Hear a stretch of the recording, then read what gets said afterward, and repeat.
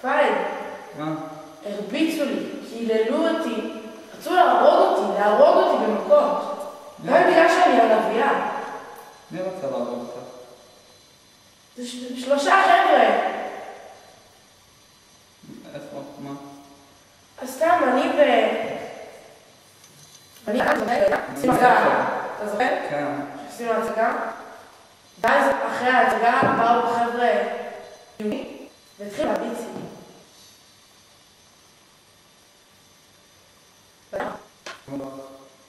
כי הוא פחדן.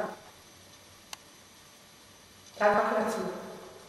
יפה מאוד הוא יוכל לשכנע אותי לעשות את זה, לעלות לבמה, אבל מפתיע מוקדם. ואז הוא ברח. ואלה האחים שלי. והאחים שהם שטויות. אני באתי... כשאני באתי לעשות את הסרט הזה, רציתי לשנות, שלא יהיו יוצרות במדות בעולם שיסבלו כמוני. מבין? אז אני מבינה שאתה מבוגר ממני ואולי אני נראית לך צעירה שחולמת חלומות, אבל אם תבוא בגישה הזאת, זה בדיוק מה שאני אהיה, צעירה שחולמת חלומות. אם כולנו נהיה מגויסים לשנות משהו בחיים האלה, אולי באמת נשנה.